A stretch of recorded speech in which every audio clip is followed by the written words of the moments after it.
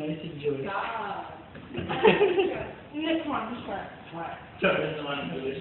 Frankie, you want a glass of milk? Yes, please.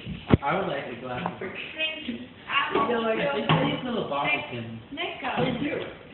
I saw it go with watermelon one. you want milk? That's the